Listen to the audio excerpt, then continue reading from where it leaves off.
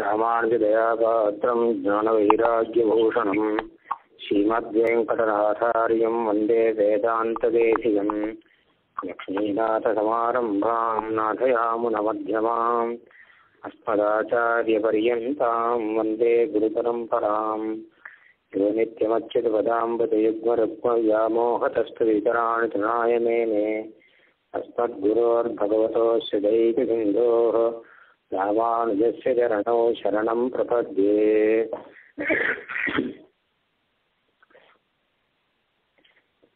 ஸ்ரீ தேசிக சகசிரநாமத்தில்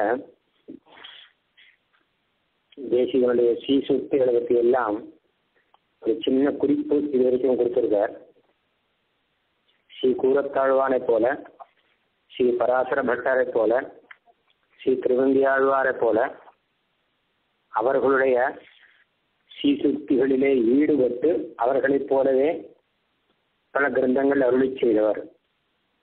கிரந்தங்கள் அருளி செய்தவர்ங்கிறது சொல்லலை சீசுக்திகளில் ஈடுபட்டவர் அப்படின்னு சொல்லியிருக்கார் சீசுக்திகளில் ஈடுபட்டவன் எப்படி தெரிஞ்சது அப்படின்னு கேட்டால் சுவாமி தேசியனுடைய கிரந்தங்களில் பார்த்தா தெரியுது எத்தனை அளவு ஈடுபட்டிருக்காரு.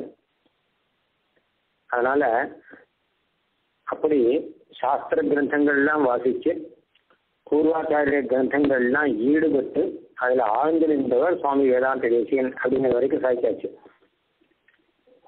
இன்னும் அடுத்து ஒரு பத்து பதினஞ்சு திருநாமத்தில் ஒரு வேடிக்கையான விஷயம் சொல்கிறார் அதாவது ஒன்று ரெண்டு மூணு நாலு என்ன எண்ணிக்கை வரா போல சம்ஸ்கிருதத்தில் எண்ணிக்கை ஒவ்வொரு திருநாமத்திலையும் வரா மாதிரியான ஒரு அமைப்பு. ஏகாந்தவாசரசிகா.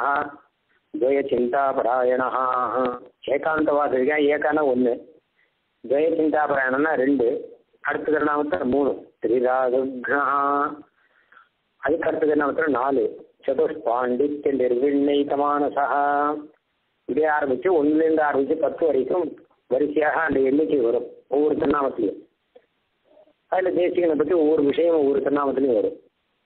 இப்படியே கடைசியில் நூறு ஆயிரம் லட்சம் அப்படின்னு சென்று வர மாதிரி ஒரு அமைப்பு. இது கவிகள் சாத்துரியத்தினால இப்படி பண்ணுவா. சுவாமி தேசிகனே அழகா ஒரு சாக சுலபம் சாதிச்சிருக்கார் ரகசிய திரைசாரத்தில் ஏகம் துவயம் திரியவயவம் சுகலபிரியம் வெத்தார்த்த பஞ்சகம் உபாத்த சடங்கு யோகம் சப்தார்ணவி மகிஷி மகிமவத்து விவருத்த அஷ்டவர்ணம்.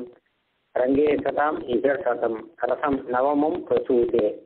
இந்த ஸ்லோகத்தில் ஒன்றுலேருந்து அஞ்சு ஒம்பது வரைக்கும் வரிசையாக எண்ணிக்கை அமைச்சிருக்க ஏகம் ஒன்று துவயம் துவய மந்திரம் திரவயவம் மூன்று பதம் உள்ளது. இப்படி போட்டிருக்கார். ஒன்று ரெண்டு மூணு வரிசையாக வரும். சொல்கிற கருட பஞ்சாயத்தில் ஒரு ஸ்லோகம் இருக்கு. அது அது ஒரு விதமான ஒரு அனுபவம். அந்த ரீதியில் தேசியுடைய திருநாமங்களை சொல்லும்போது இந்த மாதிரி வேடிக்கையாக அனுபவிக்க முடியும் அப்படிங்கிறத காண்பிக்கிறதுக்காக இந்த திருநாமங்கள் இப்போ ஆரம்பம்.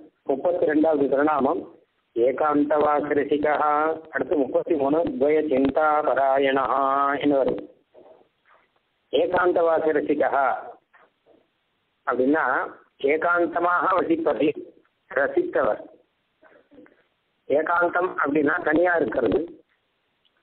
ஒரு கும்பல்ல சேரக்கூடாது அப்படின்னு பகவத்கீதையில கண்ணன் சொல்றாரு. எப்பவுமே நிறைய கும்பலா இருக்கிற இடத்துல நம்ம போய் பஞ்சாயத்து பண்ணக்கூடாது. இது என்ன வேணும் அது என்ன வேணும் நான் இதை பண்றேன் அதை பண்றேன். கும்பலை கண்டா விலகிடணுமா ஏன்னா வைஷ்ணவனா இருக்கிறவன் அவனுக்கு லௌகிக விஷயங்களில் ஈடுபாடு எதுவும் இருக்கக்கூடாது. அதனால கண்ணன் பகவத்கீதையில சொல்லும்போது அரதிகி ஜனசம்சதி. சில பேருக்கு எப்பவுமே கும்பலா இருந்தா பிடிக்கும். நாலு பேரா இருந்து உட்காந்து பேசிட்டு இருப்பான் அரை மணியா முக்கால் மணியா பேசிட்டு இருப்பான் ஆனா பகவான் கிட்ட ஈடுபாடு இருக்கிறவன் என்னன்னு கேட்டா இந்த மாதிரியான வீண் பேச்சு வெட்டி பேச்செல்லாம் இருக்கக்கூடாதுங்கிறதுக்காக அவளை விட்டு விலகியே இருப்பான். அவளோட பேசினால் அது சம்சார விஷயத்தை பற்றி பேச்சா இருக்கும்.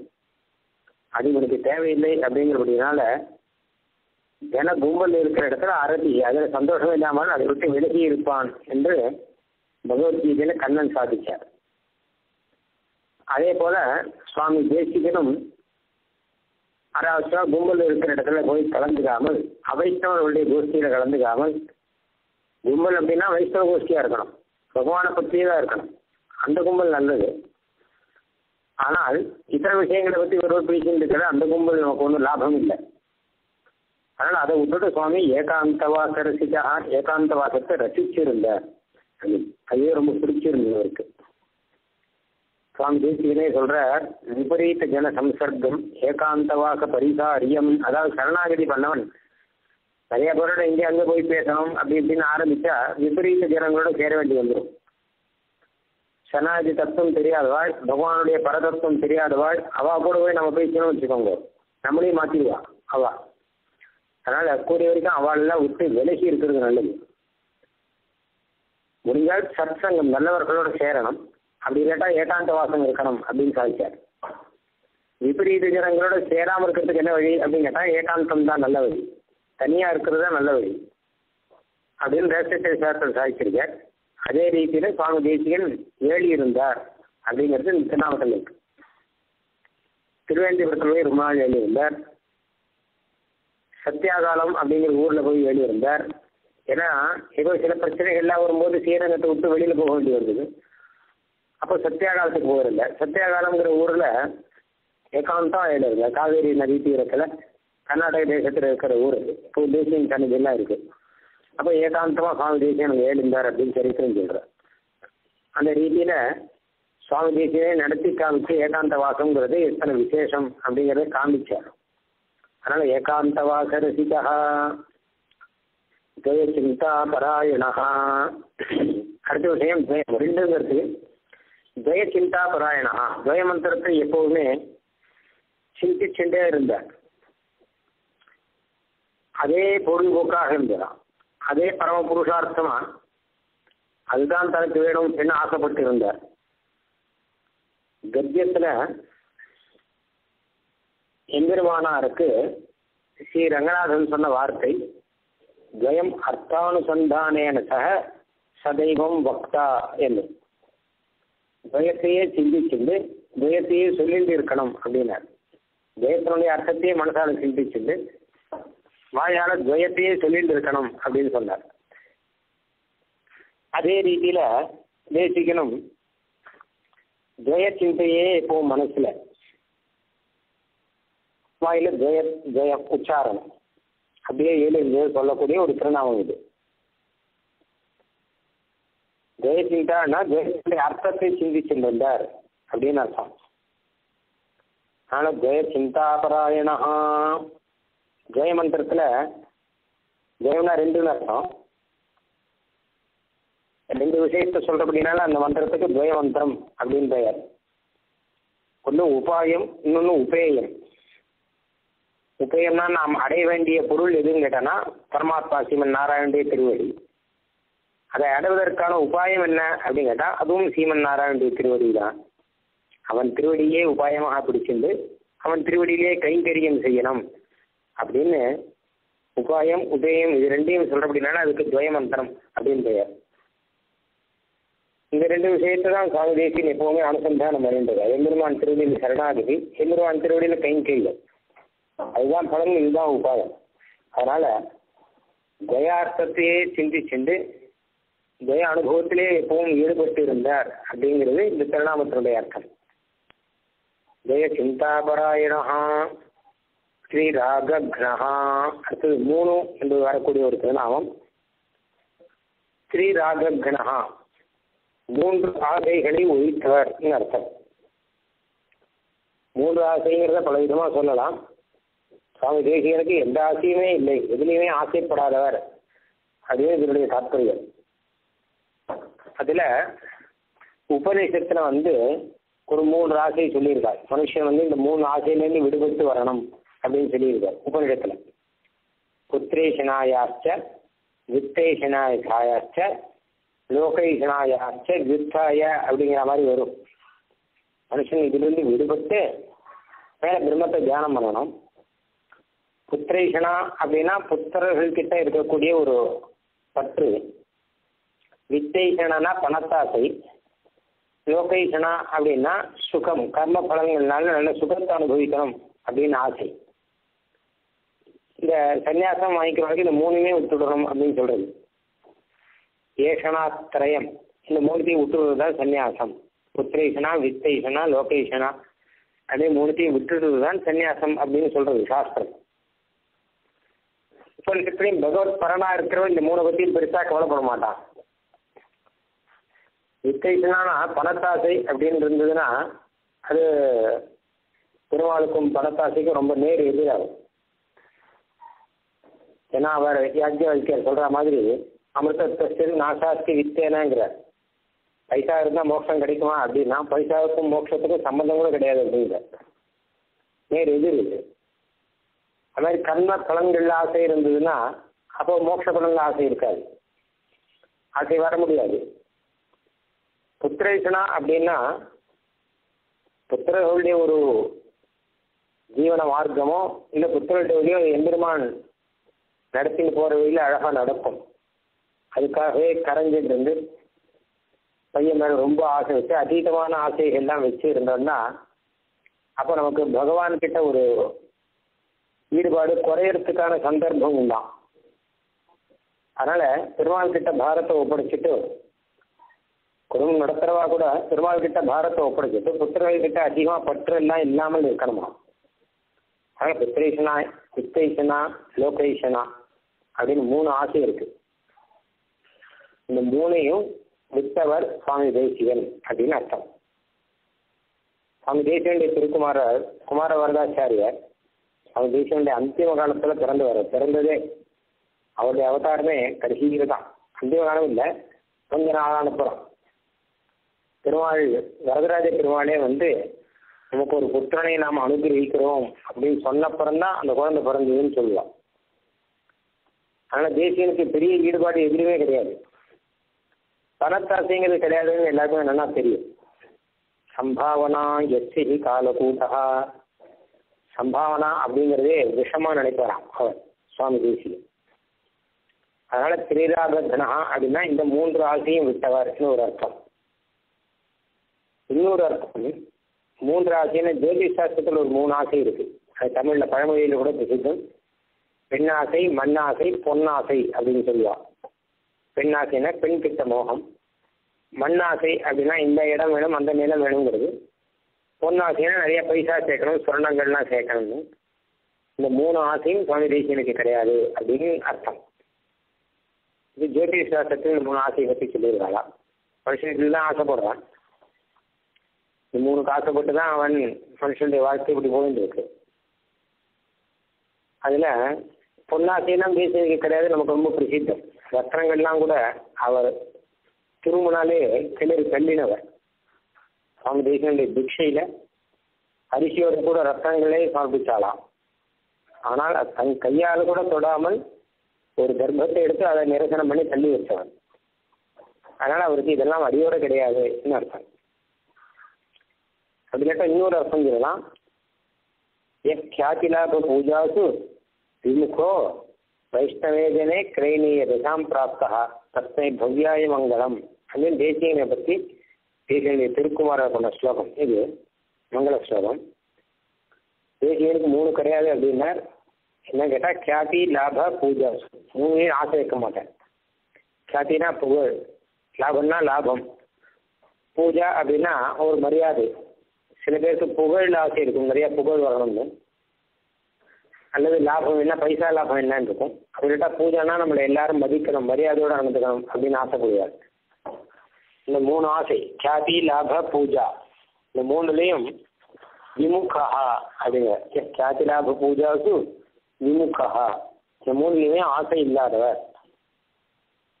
ஏன்னா ஏகாந்தமா இருக்கு. புகழ் வேணும் அப்படின்னா ராஜசபையில போய் ராஜகுருவா இருந்திருக்கலாம். சுவாமி தேசியனை கூட கூட்டா. ராஜசபையில் ராஜகுருவாக இருக்கணும் அப்படின்னா அப்போ ஒரு சக்தியான ஒரு பதவி. நல்ல புகழெல்லாம் கிடைக்கும். ஆனால் புகழெல்லாம் எதுவுமே வேண்டாம்னு விட்டாரு. நான் பாட்டுக்கு இப்படியே இருக்கேன் நாங்கள் எல்லாம் கூப்பிடாதுங்கன்னு புகழும் வேண்டாம் பைசாவும் வேண்டாம். இல்லை ராஜகுரு அப்படின்னா ஒரு கௌரவம் இருக்குவேன் பள்ளத்தில் போகலாம் பல்லத்திலே வரலாம். அப்படின்னா பூஜாசும் விமுகா என்னை யாருமே பூஜிக்க வேண்டாம்ட்டாரு எனக்கு பள்ளத்தில் போக வேண்டாம் பள்ளத்தில் வர வேண்டாம் எனக்கு பூஜையும் இதுவும் வேண்டாம் அப்படின்னு சுவாமி தேசியனுடைய ஒரு ஸ்திதி. அதனால்தான் ஸ்ரீராகக்னா எந்த ஆசையை விட்டாலும் பெண்ணாசை மண்ணாசை எல்லாம் விட்டா கூட இந்த மூணு ஆசையை விடுறது ரொம்ப கஷ்டம். சாதி லாப பூஜா. ஏன்னா புகழுக்கு அதுதான் ஆசைப்பட மாட்டா. நாலு பேர் நம்மளை பாராட்டணும்னு ஆசைப்படுவா. நாலு பேர் நம்ம மதிக்கணும் அப்படின்னு நினைப்பா. ஆனா அதெல்லாம் கூட வேண்டாம் அப்படின்னு சுவாமி தேசிகன் ஸ்ரீரங்கத்தில் அவரை மதிக்காதவாளே சில பேர் இருந்தா ஆனா தேசியன் பெருமை என்னன்னா யார் அவரை மதிக்காதவாளோ அவளை மதிச்சுட்டு இருந்தார் சுவாமி தேசிகன் அவா பாகவதாள் அப்படின்னு சொல்லிட்டு அவாகிட்ட ரொம்ப கௌரவத்தோடு கூட அவா கிட்ட ரொம்ப மதிப்போட இருந்தார். உபேட்சையும் பண்ணல. அவளை எடுத்தெறிஞ்சும் பேசல. இவரும் மதிப்பு எதிர்பார்க்கல.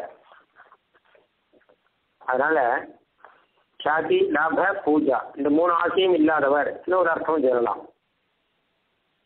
திரிராக கணா அப்படிங்கிறதுக்கு அநேக அர்த்தம் சொல்லலாம். அடுத்து இன்னொரு அர்த்தம் திரிவர்க்க நிரபேட்சதான தேசியனே சொல்றார் திரிவர்க்கம் அப்படின்னா தர்மம் அர்த்தம் காமம். இந்த மூணுமே ஆசை இல்லாதவர். அதாவது புருஷார்த்தங்கள் நாலு இருக்கு. தர்ம அர்த்த காமம் மோட்சம் நாலு இருக்கு. இந்த நாளில் முதல் மூணுக்கு திரிவர்க்கம் அப்படின்னு பெயர். இந்த மூணு சேர்ந்து ஒரு ஒரு ஒரு குழு. மூணு சேர்ந்து. தர்மம் அர்த்தம் காமம். இதை பொதுவாக எல்லாரும் ஆசைப்படுவா. நல்ல காரியங்கள் செய்யணும்னு ஆசைப்படுவா. அதுக்கான அர்த்தம் வேணும்னுவா. அப்புறம் அதனால போகத்தை அனுபவிக்கணும் அப்படின்னுவா. அதனால தர்மம் அர்த்தம் காமம். இந்த மூணு ஆசைப்படுவா. ஆனால் நாலாவது மோட்சம்னு ஒன்று இருக்கு. இந்த மூணுக்கு திரிவர்க்கம்னு பேர் நாலாவது அதுக்கு அபவர்க்கம்னு பேர் இந்த மூணு தவிர தனி அது. எதுலேயுமே ஆசை இல்லாமல் இருக்கிறது தான் மோட்சம். இப்போ தேசியம் என்ன பண்ணுறாருன்னா திரிராக கிரகம் அதுதான் இந்த மூணுலேயும் ஆசை விட்டுட்டு மோட்சத்தில் ஆசை வச்சுருந்தார்னு அர்த்தம். தர்ம அர்த்த காமத்தை விட்டுட்டு மோட்சத்திலே தாற்பயத்தோடு இருந்தார் அப்படிங்கிற அர்த்தத்தில் இந்த திருநாமம் வந்திருக்கு. இன்னும் சொல்லலாம். ஆக மூணு விதமான ஆசை அப்படிங்கிறது புத்திரேஷனா வித்தைஷனா லோகைஷனா. புத்திரர்கிட்ட ஆசை பணத்தாசை கர்ம பலனா வரக்கூடிய சுகத்தை அனுபவிக்கிற ஆசை மூணு ஆசை. அது ஜெயிச்சவன் சொல்லலாம். அப்படி கேட்டால் பெண்ணாசை ஆசை மண்ணாசை பொன்னாசைன்னு மூணையும் ஜெயிச்சவன் சொல்லலாம்.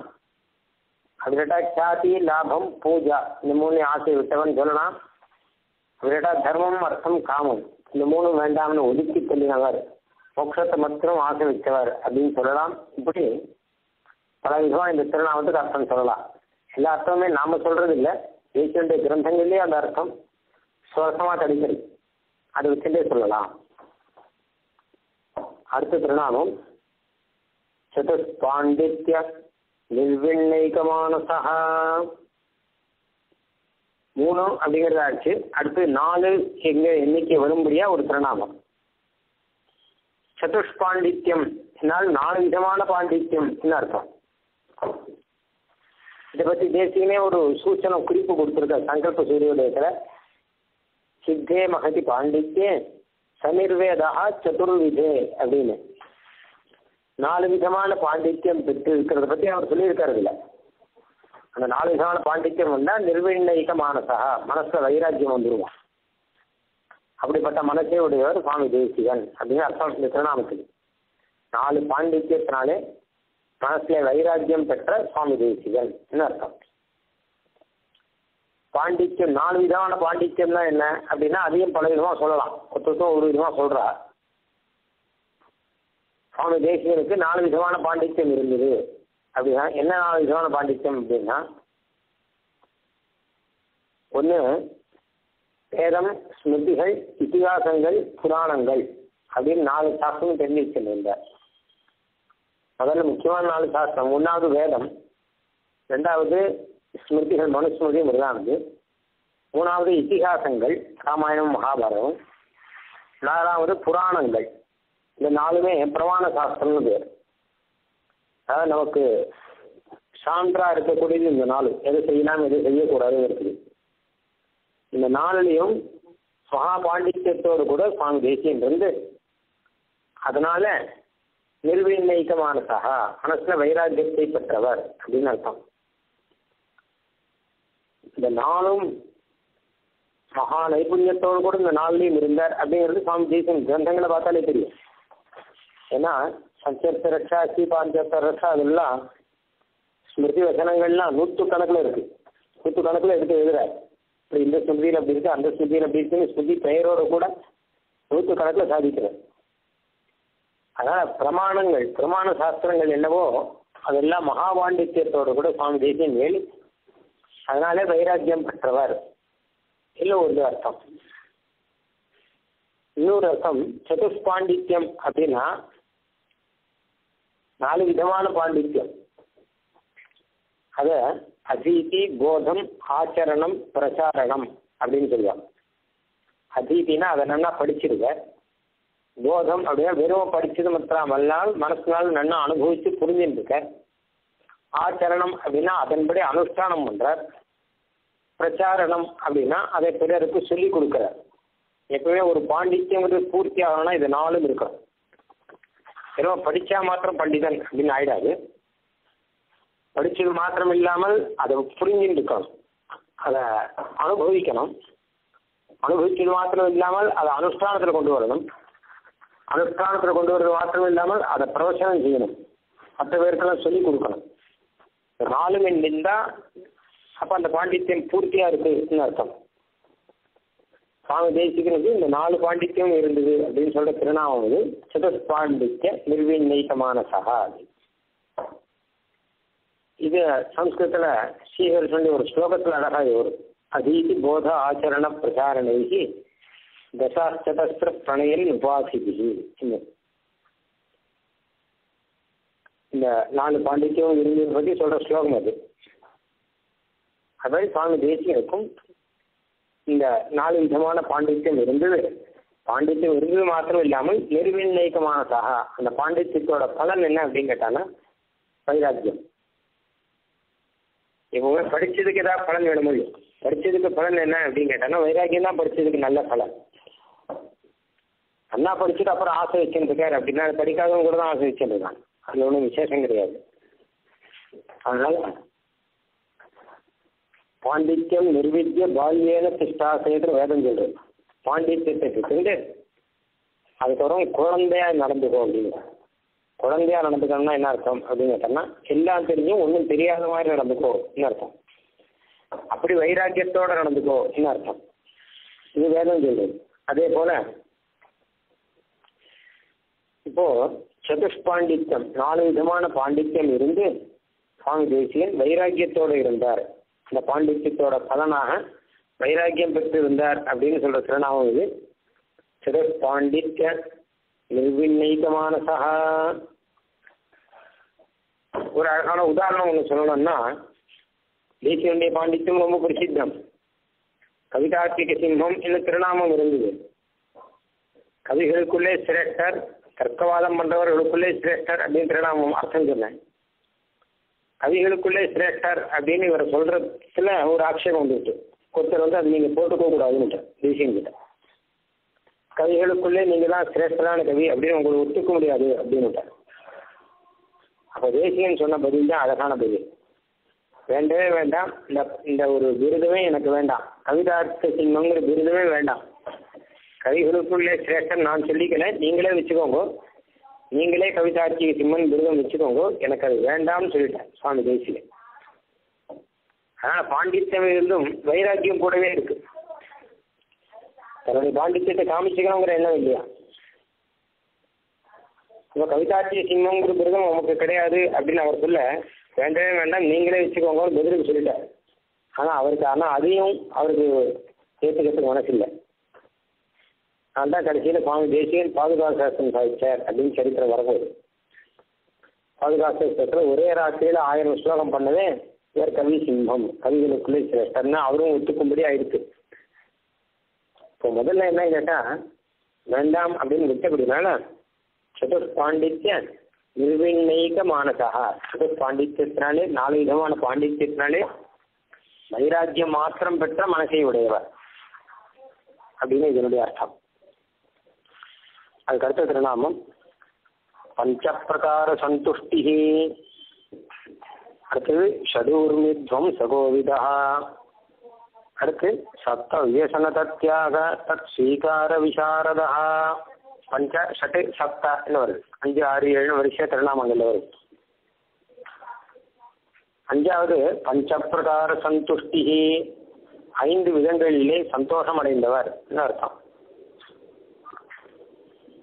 ஒரு மனுஷனுக்கு நல்ல சந்தோஷம் வரணும் அப்படின்னு கேட்டா அது நம்ம மனசுல என்ன நினைச்சிட்டு இருக்கோமோ அதை அனுபவிச்சா சந்தோஷம் அப்படின்னு நாம சொல்லிட்டு இருக்கோம் நாம நினைச்சிட்டு இருக்கோம் அவன் ரொம்ப சந்தோஷமா இருக்கார் அப்படின்னா அவன் மனசுல நினைச்சதெல்லாம் அனுபவிச்சுட்டு இருக்கார் அவர் கஷ்டப்படுறாரு அப்படின்னா அவர் மனசுல ஒண்ணு நினைச்சார் அவரால் அதை அனுபவிக்க முடியல அவர் நினைச்சது நடக்கல அப்படின்னா அவர் கஷ்டப்படுறார் அப்படின்னு நாம சொல்றோம்.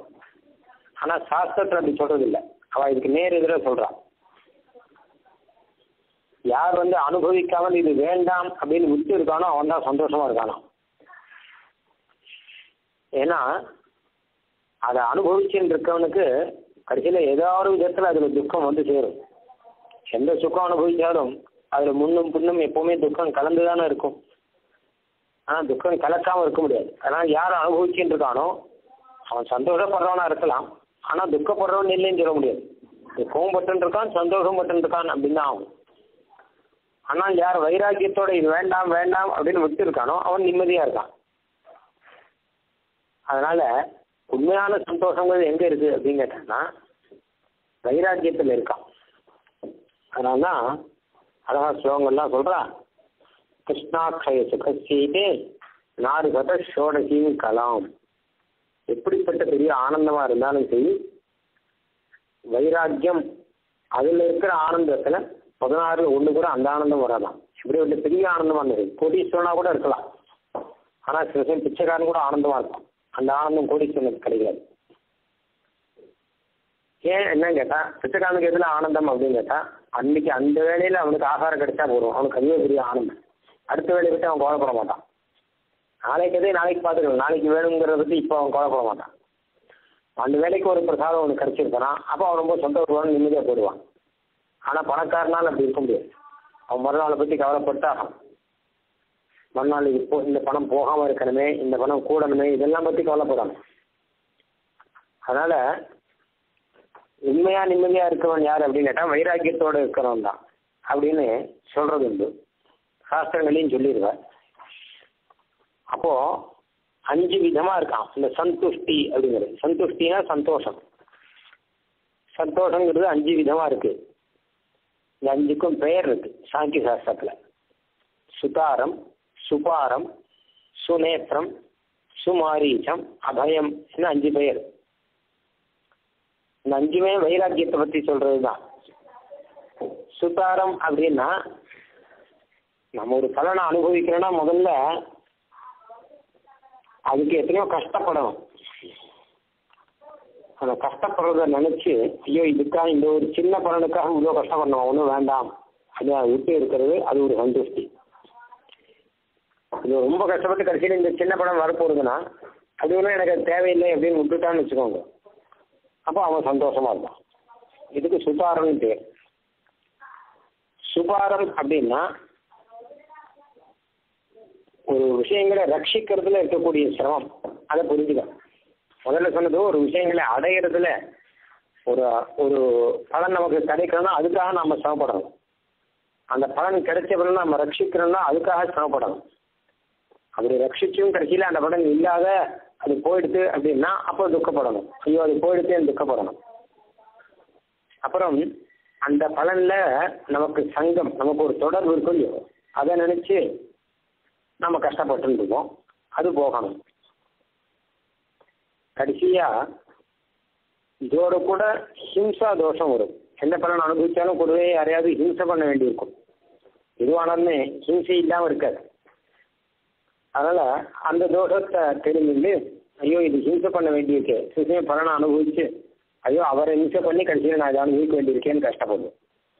அதுவும் இல்லாமல் இருக்கான் அர்ஜுனன் சொல்ற மாதிரி எனக்கு எங்களுடைய தாத்தா எங்களுடைய குரு அப்புறம் எங்க சொந்தக்காரா எல்லாத்தையும் கொண்டுட்டு ஒரு ராஜ்யம் எனக்கு வேண்டாம்னுதான் முதல்லயே. நான் இத்தனை பேரை ஹிம்சை பண்ணி எனக்கு அந்த ராஜ்யம் வேண்டாம் அப்படின்னு முதல்ல அவன் கேட்டான். அதனால நான் யுத்தமே பண்ணல அப்படிங்கிறான். ஆனா கண்ணன் வந்து இந்த தர்ம யுத்தத்தை நடத்தி வைக்கிறான் அப்படின்னு சரித்திரம் எல்லாருக்கும் தெரியும். அப்போ இந்த மாதிரியான அஞ்சு விஷயம் வைராக்கியம் வரத்துக்காக ஒன்று நாம் அந்த விஷயத்தை நாம் அடையணும் அப்படின்னா அதுக்கு கஷ்டப்படணும். ரெண்டாவது அந்த விஷயத்தை ரட்சிக்கணும் அப்படின்னா அதுக்கு சிரமப்படணும். மூணாவது அந்த விஷயம் நம்ம கைவிட்டு போகிறது அப்படின்னா அப்போ அதில் துக்கம் வரும். நாலாவது அந்த விஷயத்தோட நம்ம தொடர்பு வச்சிருந்தோம்னா அதில் துக்கம் வரும். அஞ்சாவது அதில் பிறரை ஹிம்சை பண்ண வேண்டியிருக்கும் அப்படிங்கிறதுனால அது ஒரு துக்கம். இது இந்த அஞ்சையும் ஒழிச்சுடணும். கொஞ்சிட்டா பஞ்ச பிரகார சந்துஷ்டியம் வைராக்கியம்.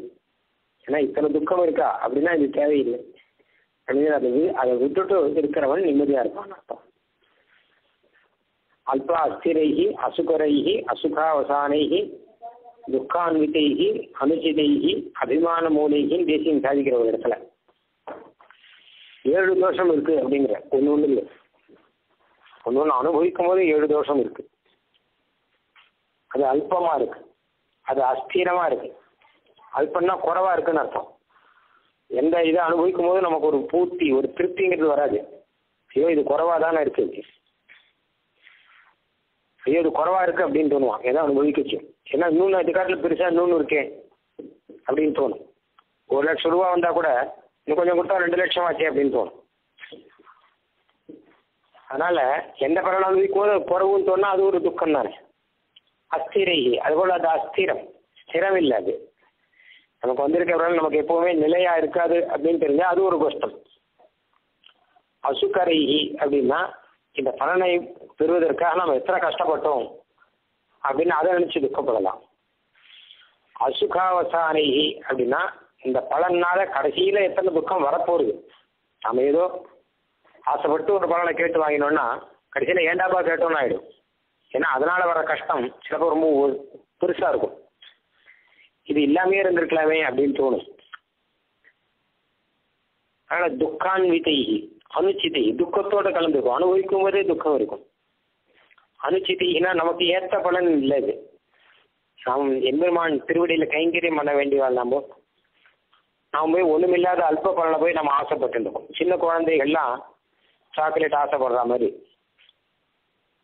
சின்ன குழந்தைகள் சாக்லேட் ஆசைப்படும். எனக்கு இது வேணும்னு அடம் பிடிக்கும். இதுதான் வேணும் அப்படின்னு. ஆனால் பெரியவாடாக்கும் போது நமக்கு தெரியுது. ஏன்னா ஒன்றும் இல்லாத இந்த அல்பமான சாக்லேட்ல போய் இத்தனை ஆசைப்படுறது. அந்த மாதிரி தான் நம்ம கதையும். நாமளும் சின்ன குழந்தைகள் மாதிரி ஒன்றுமில்லாத அல்ப விஷயங்கள்ல ஆசைப்பட்டுருக்கோம். அப்போ ஆச்சாரியர் எல்லாம் எடுத்து சொல்கிறான் சின்ன குழந்தைகள் ஆசைப்படுற மாதிரி இப்படி வீண் ஆசைப்படுறாங்களே இதெல்லாம் விடுங்க இது உங்களுக்கு ஏற்றது இல்லை உங்களுக்கு ஏற்றது வேற ஒன்று இருக்குது அது எம்பெருமான் திருவடியில் ஆசைப்படணும் அப்படின்னு நமக்கு காட்டி கொடுக்குறாளாம். ஆச்சாரியர்கள்லாம். அதனால ஒன்று ஒன்றுலையுமே எந்த சுகமானாலுமே அதில் துக்கம் கலந்தே இருக்கு கட்டாயம். அந்த துக்கம் கலந்துருக்குங்கிறத தெரிஞ்சுட்டு அதை விட்டுட்டோம் வச்சுக்கோங்க. இது நமக்கு வேண்டான்னு விட்டுட்டோம்னா அப்போ அதுதான் சந்துஷ்டி. அதுதான் சந்தோஷம். அதனால பஞ்ச பிரகார சந்துஷ்டி அஞ்சு விதத்திலே சந்தோஷத்தை அடைந்தவர். அஞ்சு விதம் முன்னாடியே பார்த்தோம். அஞ்சு விதத்தினாலையும் இவருக்கு வைராக்கியம் வரும் ஐயோ இத்தனை தோஷம் இருக்கே இத்தனை தோஷம் இருக்கேன்னு ஒன்று ஒன்று இத்தனை துக்கப்பட்டு சம்பாதி சம்பாதிக்கணுமா? தன்னை துக்கப்பட்டு அனுபவிக்கணுமா? கடைசியில் இது போயிடுச்சுன்னா இது துக்கமாச்சே. இதை வரைச்ச சந்தோஷமா இருக்கும். ஆனால் போகும்போது துக்கமாச்சே. அப்படின்னு அதெல்லாம் நினச்சி அதில் வைராக்கியத்தோட இருந்தபடினால பஞ்ச பிரகார சந்துஷ்டி. அஞ்சு விதமான சந்தோஷத்தை அடைந்தவர் அப்படின்னு அர்த்தம். அதனால்தான் தான் எல்லாம் வேண்டாம்னு சொல்றேன். ஏன்னா கையில கிடைச்ச ரத்தனத்தை வாங்கி அப்படியே உள்ள வச்சுக்கலாம். ஆனா இது இருந்தா எத்தனையோ துக்கம். ரத்தனம் இல்லைன்னா நிம்மதி. ரத்தனம் இருந்ததுன்னு வச்சுக்கோங்க. இனிமேல் விளக்குல இருக்கிற விளக்கில் விளக்குல இருந்தா கடைசியில் கரண்ட் போயிடுச்சுன்னா கஷ்டம். ஆனா விளக்கே இல்லைங்கிறவனுக்கு அந்த கஷ்டம் வராது. ஆனால் வேற ஏதாவது கஷ்டமா இருக்கலாம் ஆனால் ஆனா இந்த கஷ்டம் கிடையாது. நிறைய சாப்பிட்டவனுக்கு வயிற்று வலி வரும். ஆனால் நிறைய சாப்பிடாதவங்களுக்கு வயிற்று வருது. வராது அந்த பிரச்சனை இருக்காது. அதே போல் இந்த பேராசையை ஒழிக்கிறதுக்காக இந்த மாதிரி அஞ்சு விதமான சந்துஷ்டி வேணும் அப்படின்னு சாஸ்திரம் எடுத்து சொல்றது அது சுவாமி தேசிகன் அந்த சந்தோஷத்தோடு இருந்தார் அப்படின்னு இந்த திருநாமத்துக்கு அர்த்தம். அப்படி இல்லாட்டா வேற ஒரு அர்த்தம் சொல்லலாம். பஞ்ச பிரகார சந்துஷ்டி அஞ்சு விதமா சந்தோஷமா இருந்தார். அப்படின்னா அஞ்சு இந்திரியங்கள் இருக்கு. கண்ணு காது மூக்கு நாக்கு தொக் இந்த அஞ்சு இந்திரியம் இந்த அஞ்சு இந்திரியத்திலையும் திருப்தி அடைஞ்சிருந்தார் அப்படின்னு அர்த்தம். அதாவது இந்திரியங்களை திருப்திப்படுத்துறது ரொம்ப கஷ்டம். என்ன ஆனாலும் சரி இன்னும் கொஞ்சம் வேணும் இன்னும் கொஞ்சம் வேணும் கேட்டுட்டே இருக்கும். கண்ணிந்திரியமானா எனக்கு இன்னும் நிறைய வேணும்னு கேட்கும். காது இந்திரியமானா இன்னும் நிறைய கேட்கணும் நான் அப்படின்னு கேட்கும். ஆனால் இந்த இந்திரியங்களை அடக்கி வச்சிருந்தபடியினால பஞ்சபிரகார சந்துஷ்டி அஞ்சு விதத்தினாலையும் அஞ்சு இந்திரியங்களையும் நேர்மையான வழியில வச்சு ஆசைப்படாமல் அதுல சந்தோஷமா இருந்தார் அப்படின்னு இதை பற்றி தேசியனே சங்கல்ப சூரியோதயத்துல சைஷா பஞ்சமுகி துஷ்டிகி அப்படின்னு ஆரம்பிச்சு சொல்றார். அஞ்சு விதமான சந்தோஷம் அப்படின்னு. எப்பவுமே இந்திரியங்களை நம்ம கட்டுக்குள்ள வச்சிருந்தோம்னா அது சந்தோஷம். இல்ல இந்திரியங்கள் நம்மளை கட்டுக்குள்ள இருக்கு தான் போன வழியில் போயின்னு இருக்கு அப்படின்னா அதுல எப்படியாவது துக்கம் கலந்துதான் இருக்கும். ஏன்னா விஷயங்களை அனுபவிக்கிறதுக்கு தான் இந்திரியங்களே இருக்கு. கண்ணு அப்படிங்கிறது பார்த்து அனுபவிக்கிறதுக்கு இருக்கு. காதுங்கிறது கேட்டு அனுபவிக்கிறதுக்கு இருக்கு. மூக்குங்கிறது முகர்ந்து அனுபவிக்கிறதுக்கு இருக்கு. அப்படிதான் நினைச்சிட்டு இருக்கும். அப்ப அந்த அனுபவம் வந்ததுல கூடவே துக்கம்ங்கிறது வந்து சேரும். அது இல்லாமல் ஜிஹ்வே கீர்த்தய கேசவம் அப்படின்னு முகுந்த மாலையெல்லாம் சொன்ன மாதிரி எல்லா இந்திரியங்களும் எம்பெருமான் கிட்ட கைங்கரியத்துக்கு இருக்கு அப்படின்னு நடத்தி காமிச்சவர் சுவாமி அதனால பஞ்ச பிரகார சந்துஷ்டி அஞ்சு விதமா சந்தோஷத்தை பெற்றவர். வைராக்கியம் அப்படிங்கிற சந்தோஷத்தை பெற்றவர் அப்படின்னு அர்த்தம். அடுத்த திருநாமம் ஷடூர்மித்வம்ச கோவிதா. ஷட் ஆறு அப்படிங்கிறது வரக்கூடிய பிரணாமம் ஷடு ஊர்மி துவம்ச கோவிதா. ஆறு ஊர்மிகளை அழிக்கக்கூடியவர். அழிக்கும் வல்லமை படைத்தவர். ஊர்மி அப்படின்னா அலைன்னு அர்த்தம். ஆறு விதமான அலைகளை அழிக்கக்கூடியவர். அலை அப்படின்னா மேல மேல வந்துட்டே இருக்கிறதுக்கு அலைன்னு பெயர் இப்போ சம்சாரம் அப்படிங்கிறது ஒரு சாகரம்னு வச்சுக்குவோம். சாகரம் தான் நான் சொல்ற வழக்கம். சாகரம்னா கடல். அப்போ கடல்னா அதுல நிறைய அலைகள்லாம் இருக்கும். அப்ப இந்த சம்சாரம் அப்படிங்கிற சாகரத்துல அலைகள் ஆறு அலைகள் இருக்கான் அதுக்கு ஷடூர்மி பேர். என்ன கேட்டா அசனாயா பிபாசி சோகம் மோகம் ஜரா மிருத்யு வத்தியதி அப்படின்னு வேதத்துல இருக்கிற வரும். அதாவது பசி இன்னும் ஒரு அலை தாகம் இன்னும் ஒன்று சோகம் இன்னும் ஒன்று மோகம் இன்னும் ஒன்று ஜரா அதாவது மூப்பு இன்னும் ஒன்று மரணம் இன்னும் ஒன்று சம்சாரத்தில் இந்த ஆறும் இருந்துட்டே இருக்கும் வந்துட்டே இருக்கும். ஜரா வரும் ஜரா வந்தால் மரணம் வரும். அதுக்கு முன்னாடி பசி இருக்கும் தாகம் இருக்கும் சோகம் இருக்கும் மோகம் இருக்கும். இது இருந்துட்டே இருக்கும். சமுத்திரத்தில் எப்படி அலைகள் ஓயாமல் இருக்கோ அந்த மாதிரி இந்த சம்சாரம்ங்கிற சாகரத்தில் இந்த அலைகள் இருந்துட்டே இருக்கும். காத்தாலே தான் பசிக்கும்.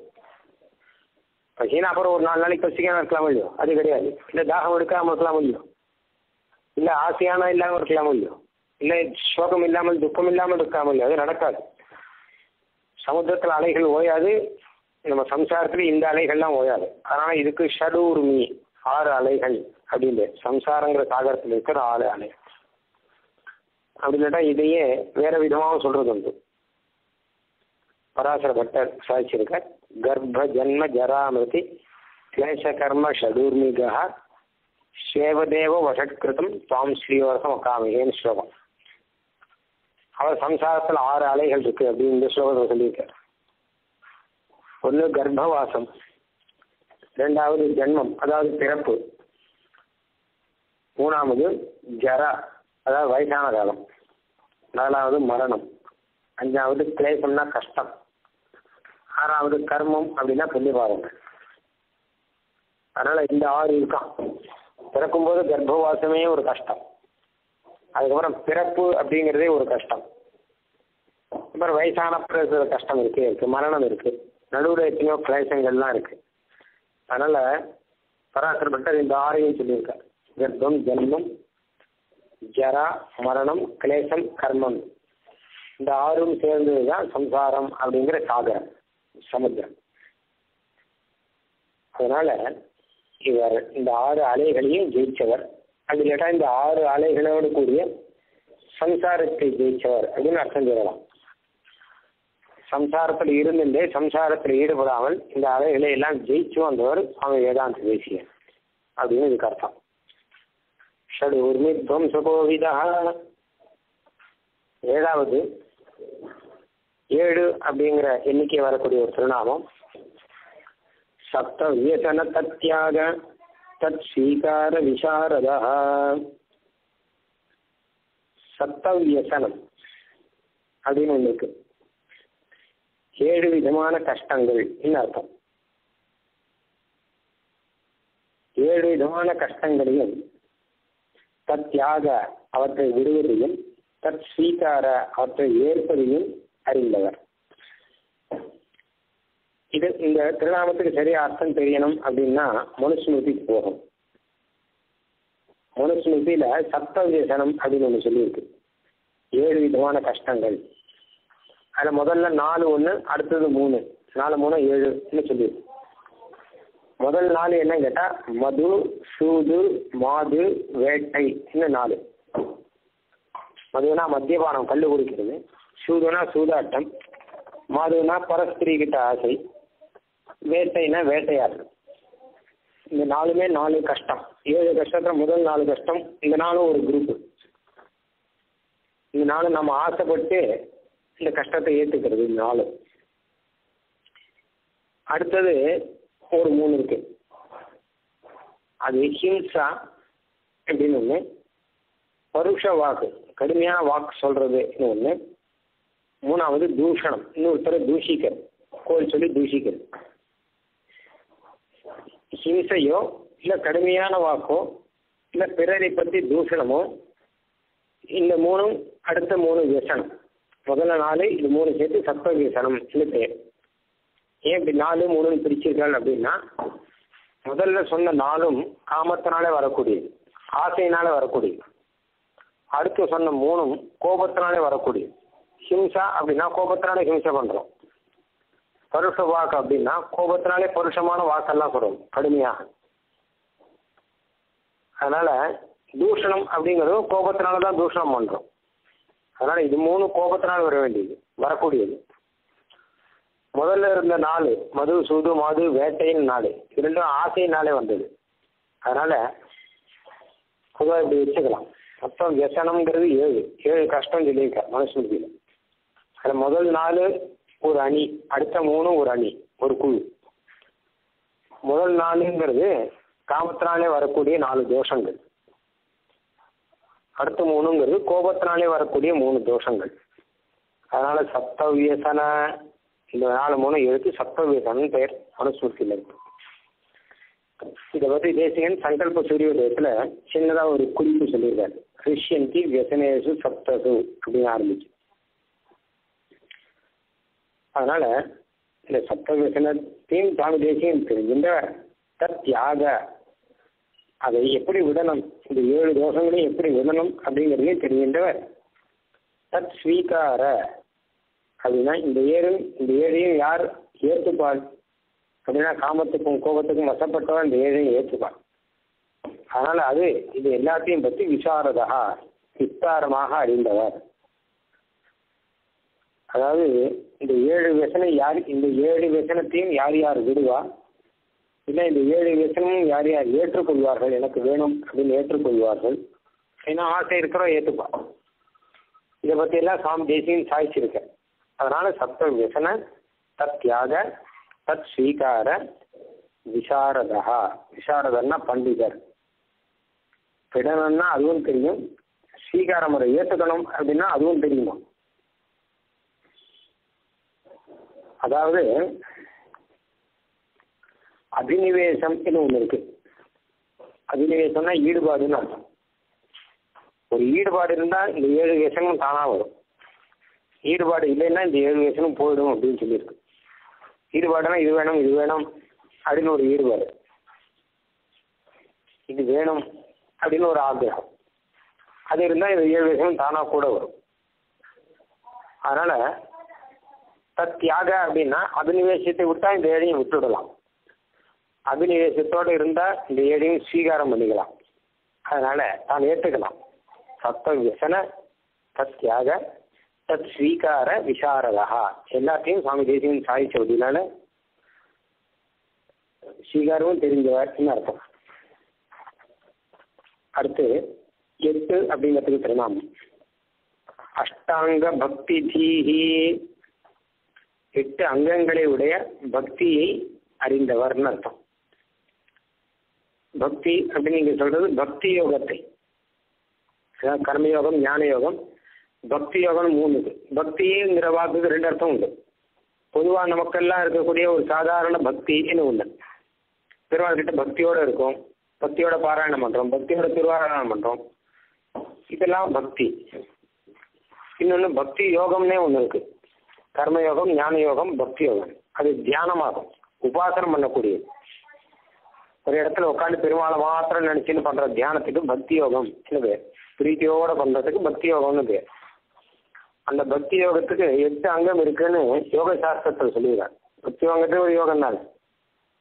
அதனால யோக சாஸ்திரத்துல பதஞ்சலி மகர்ஜி சொல்லும்போது எட்டு அங்கம் இருக்கு பக்தி யோகத்துக்கு சாய்ச்சிருக்க யமம் நியமம் ஆசனம் பிராணாயாமம் பிரத்யாகாரம் தாரணா தியானம் சமாதி இன்னும் எட்டு அங்கம்.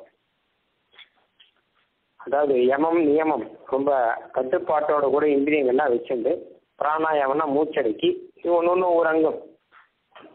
பிரத்யாகாரம்னா இந்திரியங்களை வெளியே தேடி திருப்பி மனசை ஒரு இடத்துல வச்சு தாரணா தியானம் சமாதி அப்படின்னு எட்டு அங்கங்கள் யோக சாஸ்திரத்தில் இருக்குது அஷ்டாங்க பக்தி அதனால அஷ்டாங்கம் அப்படின்றது இருக்கு. எது பக்தி? அதுக்கு. எட்டு அங்கத்தோடு இருக்கு அப்படின்னால அஷ்டாங்க பக்தி. இந்த அஷ்டாங்க பக்தியை பத்தி நல்லா தெரிஞ்சிருந்தவ என்ன அர்த்தம்? அஷ்டாங்க பக்தி தீஹி. அது சுவாமி தேசிகனே யோகத்தை பற்றி பகவத்கீதையில சொல்லும்போது அப்போ யோக சாஸ்திரத்திலேருந்து உதாரணங்கள்லாம் எடுத்து காமிச்சு யோகங்கிறது இப்படி இருக்கணும்னு எல்லாத்தையும் ஸ்தாபிக்கிறார் அதனால அஷ்டாங்க பக்தியை பற்றி விசேஷமாக தெரிந்திருந்தவர் என்ன அர்த்தம்? அது மாத்திரம் இல்லை. இந்த பக்தி யோகம்ங்கிறதே நமக்கு செய்யக்கூடாது. பொதுவாக நாமெல்லாம் பக்தி யோகம் செய்யறதில்லை. ஏன் செய்யறதில்லை அப்படின்னு ஒரு கேள்வி வரும். ஏன்னா நம்மளால முடியாது. அதை தெரிஞ்சுட்டு நம்மளால பக்தி யோகத்தை உருப்படியாக செய்ய முடியாது. அதனால் நான் அதை செய்யறதில்லை. செய்யக்கூடாதுன்னே சொல்கிறேன் சுவாமி தேசிகன் ஏன்னா அதை பக்தி யோகத்தை ஆரம்பிச்சுட்டு அது முடிக்கிறது ரொம்ப கஷ்டம். பக்தி யோகம்னு பெருமாளை தியானம் பண்ணணும் எட்டு அங்கத்தோட கூட. அது முடிக்கிறது ரொம்ப கஷ்டம். அதனால் இதுக்கு கஷ்டப்பட்டு இதெல்லாம் செய்யணும் இதெல்லாம் ஒன்று செய்ய வேண்டாம்னு சுவாமி தேசியம் சொல்லியிருக்கேன் முன்னமதில் ஆ மூன்றாலும் அரியதனில் முயல வேண்டாம். முன்னமதில் ஆசை தனி வீடுகை திண்மை. அதில் பக்தி யோகம் செய்யணும்னு ஆசை இருந்து அந்த ஆசையை விட்டுடுங்கன்னு ஏன்னா நம்மளால முடியாது. முடியாத காரியத்தை போய் நான் செய்யணும் அப்படின்னு ஆசைப்படக்கூடாது. அவங்க முடிஞ்ச காரியத்தில் தான் ஆசைப்படுறான். அப்படின்னு சுவாமி தேசிகன் இந்த சர்வதர்மான் பரித்தியங்கிறதுக்கு அர்த்தமாக சொல்ற இந்த விஷயத்தை. ஆனால் இன்னும் சில பேர் என்ன சொல்றா? நாமெல்லாம் பக்தி யோகம் பண்ணக்கூடாது.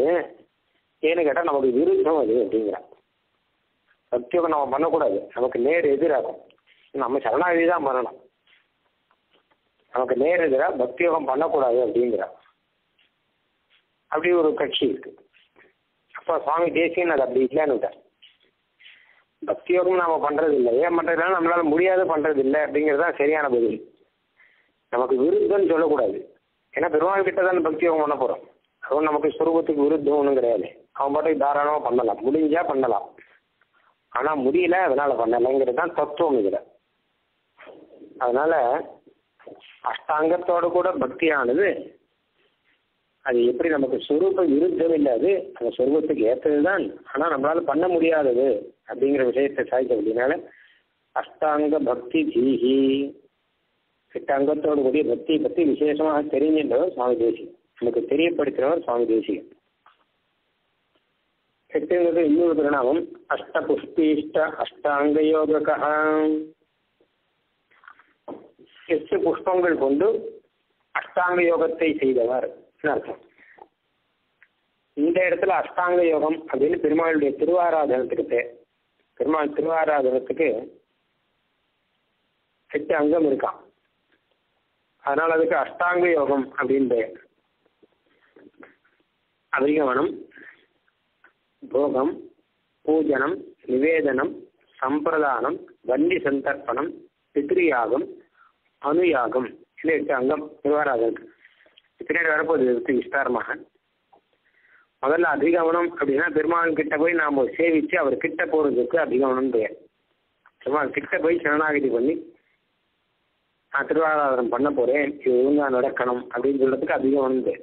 அதுலேருந்து ஆரம்பிச்சு கடைசியில் அனுயாகம்னு ஒன்று இருக்கு. அனுயாகம்னா பெருமாள் திருவாரணம் முடிச்சப்பறம் நாம் நாம் ஆகாரம் ஏற்றுக்கிறதுக்கு அனுயாகம் பேர் சாப்பிட்றதுக்கு அனுயாகம்னு பேர் ஏன்னா நமக்கு உள்ளுக்குள்ள இருக்க பெருமாளுக்கு நம்ம நிவேதனம் பண்றோம். அதனால முதல்லையா முதல் அங்கத்திலேருந்து இந்த அனுயாகங்கிறது எட்டாவது அங்கம். இதுக்கு நடுவில் ஒரு ஆறு அங்கம் இருக்கு. சேர்த்தான்னா எட்டு அங்கம். மிக்கப்படி நாம பண்ற பெருமாள் திருவாராதனத்திலே இந்த எட்டு அங்கம் இருக்கு. அதனால இதுக்கு அஷ்டாங்க யோகம் அப்படின்ற திருவாராசனத்துக்கு அஷ்டாங்க யாகம்னு பேர் இல்ல அஷ்டாங்க யோகம்னு சொல்லுவான் யாகம்ங்கிறது பொருத்தமா இருக்கும். திருவாராதனத்துக்கு யாகம்னு பேர். யாகம்னாலே ஆராதனம் தான் அர்த்தம் சம்ஸ்கிருதத்துல. யாகம்னாலே பூஜான்னு அர்த்தம் அதனால அஷ்டாங்க யோகக அஷ்டாங்க யோகம் திருவாராதம் அஷ்ட புஷ்பீஷ்ட அதுல எட்டு புஷ்பத்தை சமர்ப்பிக்கிறது விசேஷமும் திருவாராதனத்துல எட்டு புஷ்பம்னு அடிக்கடி அஷ்ட புஷ்பம் அப்படின்னு சொல்றது உண்டு சாஸ்திரங்கள்ல பெருமாளுக்கு சமர்ப்பிக்க வேண்டிய எட்டு புஷ்பங்கள்னு ஒரு லிஸ்ட் ஒன்று இருக்கு உட்பலம் பத்மம் சதபத்திரம் சஹசிரபத்திரம் புண்டரீகம் துளசி தகபுஷ்பம் சௌவர்ண புஷ்பம் எட்டு புஷ்பம். உட்பலம் அப்படின்னா கருணை இதழ் பூ தாமரைப்பூ நூறு இதழ் இருக்கக்கூடிய தாமரைப்பூ ஆயிரம் இதழ் இருக்கக்கூடிய பூ வெள்ளை தாமரைப்பூ துளசி வெள்ளையா இருக்கக்கூடிய குக்கு மந்தாரை ஸ்வர்ண புஷ்பம் அப்படின்னு தங்கத்திலான புஷ்பம். இப்படி எட்டு புஷ்பம் பிடிச்சு திருவாள் திருவாராதனம் பண்ணணும். என்று சொல்றது உண்டு. இதில் எட்டு புஷ்பங்கிறது எட்டு விதமான புஷ்பம். முன்னாடி சொன்ன மாதிரி. ஆனால் சுவாமி தேசிய இன்னொரு விஷயம் ஒன்று சாதிச்சிருக்கார். இந்த எட்டு புஷ்பத்தை காட்டிலும் முக்கியமான எட்டு புஷ்பம் வேற இருக்கு. திருவாள் திருவாராதனத்தில். இந்த எட்டு புஷ்பம் வேணும். ஆனால் இதை காட்டிலும் முக்கியம் இன்னொன்று ஒன்று இருக்கு. அது எதுன்னு கேட்டா அஹிம்சா பிரதமம் புஷ்பம் புஷ்பம் இந்திரிய நிகிரகா சர்வபூத தயா புஷ்பம் க்ஷமா புஷ்பம் விசேஷதா ஞானம் புஷ்பம் தபஸ் புஷ்பம்னு ஆரம்பிச்சு சாஸ்திரத்தில் சொல்லியிருக்கான் இந்த வெளியில் இருக்கக்கூடிய எட்டு புஷ்பத்தை காட்டிலும் உள்ள மனசில் எட்டு புஷ்பம் ரொம்ப முக்கியம். ஒன்று அஹிம்சா. கஷ்டப்படுத்தக்கூடாது யாரையும். அப்புறம் இந்திரிய நிகிரகா இந்திரியங்களை கட்டுக்குள்ள வச்சுக்கணும். அது ஒரே ஒரு புஷ்பம். திருப்பாராயணங்கள் சர்வபூத்த தயா. எல்லார்கிட்டையும் கருணையோடு இருந்தால் அதுவே ஒரு புஷ்பம். பொறுமை இருந்தால் அதுவே ஒரு புஷ்பம். ஞானம் ஒரு புஷ்பம். தபஸ் ஒரு புஷ்பம். தியானம் ஒரு புஷ்பம். சத்தியம் இது ஒரு புஷ்பம். அதனால சத்தியம் அஷ்டவிதம் புஷ்பம். விஷ்ணோகோ பிரீத்திகரம் பவேத். ஸ்லோகம் சொல்றது. வெளியில நாம சமர்ப்பிக்கிற புஷ்பத்தை காட்டிலும் இந்த எட்டு புஷ்பம் தான் பெருமாளுக்கு ரொம்ப பிரீத்தியை கொடுக்கும் அப்படிங்கிறது. அதனால தேசியன் இந்த ஸ்லோகத்தை வந்து எடுத்திருக்கேன். எடுத்து இந்த இந்த அஷ்ட புஷ்பம் ரொம்ப முக்கியம். அஹிம்சா முதலான எட்டு புஷ்பங்கள் ரொம்ப முக்கியம் சாதிச்சிருக்கேன். ஆனால் வெளியில பெருமாளுக்கு எட்டு புஷ்பங்கள் சமர்ப்பிச்சு திருவாராதனம் பண்ற மாதிரி அஹிம்சா முதலான எட்டு புஷ்பங்கள். இந்த எட்டு புஷ்பங்களை சமர்ப்பிச்சு இதையே திருவாராதனமாக விசேஷமாக பண்றது விசேஷம். அப்படின்னு தேசியம் சாதிச்சிருக்க பிரேசித்ரேசாரத்துல அதனால அஷ்டபுஷ்பி இந்த அஹிம்சா இந்திய நிகிரக தயா பொறுமை அதாவது சாந்தி ஞானம் தபசு தியானம் சத்தியம் இன்னும் எட்டு புஷ்பத்தை கொண்டு அஷ்டாங்க யோகம் அல்லது அஷ்டாங்க யாகம் என்று சொல்லக்கூடிய திருவாராதனத்தை நடத்தினவர் அப்படின்னு அர்த்தம் இருக்கு அஷ்டபுஷ்பின்னா எட்டு புஷ்பம் சேர்த்து வச்சுன்னு அர்த்தம் எட்டு புஷ்பத்துல ஒரு புஷ்பம் மாத்திரமும் இல்லை ரெண்டு புஷ்பம் மாத்திரம் போறாது. அஹிம்சாலேருந்து ஆரம்பிச்சு எட்டு குணங்கள் தான் எட்டு புஷ்பம். அந்த எட்டு குணங்களும் திருவாராதனத்துக்கு ரொம்ப முக்கியங்கிற காமிக்கும்படியா அஷ்டபுஷ்பின்னு திருநாமத்தில் இருக்கு. அஷ்டபுஷ்பான்னு சொல்லல. அஷ்டபுஷ்பின்னா ஒரு குரூப்புன்னு அர்த்தம். மொத்தமும் வேணும். அப்போ அஷ்டபுஷ்பிஷ்ட அஷ்டாங்க யோககா அப்படின்னு திருவா திருவாராதனத்தை இந்த எட்டு புஷ்பத்தை வச்சு நடத்தினவர் அப்படின்னு இந்த திருநாமம் ஆக ஒன்றுலேருந்து ஆரம்பித்து எட்டு வரைக்கும் வரிசையாக அந்த எண்ணிக்கையை வச்சு இப்போ வந்து தேசியனுடைய குணங்களை அனுபவிச்சுருக்க அது ஒன்பது பத்து நூறு ஆயிரம் பத்தாயிரம். மாதிரி மேலே அடுத்தடுத்த திருநாமங்கள்ல சொல்லிட்டு போகிற அதையெல்லாம் நம்ம கிரமேண வரிசையாக பார்ப்போம். இது ஒன்று ஒன்றுமே தேசியனுடைய கிரந்தங்கள்லேருந்து எடுத்த பிரமாணம். அதாவது இது ஒன்று ஒன்று துவேசிந்தா பராயணானோ தீராக கிரகணோ இது எல்லாமே காசி இந்த ரகசிய திரைசாரம் அல்லது சங்கல்ப அதில் இருக்கக்கூடிய விஷயங்கள். தேசியன் அப்படி இருந்தார்னா அதை வலியுறுத்தி இருக்காரு நமக்கு. ஆனால் அவர் கிரந்தங்கள்லேருந்தே விஷயத்தை எடுத்து இப்படி திருநாமத்தை அமைச்சிருக்க இந்த திருக்குழந்தை தேசிகன் என்பது இதில் தெரியும். நீ ஒன்பது முதல் ஆக வேண்டியதை நம்ம அடுத்த தடவை பார்க்கலாம். கவிதார்க்கிக சிம்ஹாய கல்யாண குணசாலினே ஸ்ரீமதே வெங்கடேசாய வேதாந்த குரவே நம